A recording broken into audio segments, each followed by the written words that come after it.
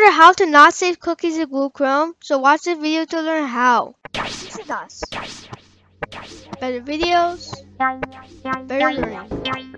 hello everyone, uh, everybody. Welcome to this lesson. Today I'm going to show you way to actually start Google Chrome in incognito mode. I will not try saving cookies and will not say anything that you did on the internet. So the first thing is to press the press um, Control Shift N on Windows keyboard or Command Shift N on the Mac keyboard. Would what this would do is actually will take you to incognito mode, which looks like this. Um, another way is that, that if you have a touchscreen display or you don't have a key, keyboard, I mean whatever situation you are, you have to go to the three line bar and virtually press uh, eventually go go to new incognito window.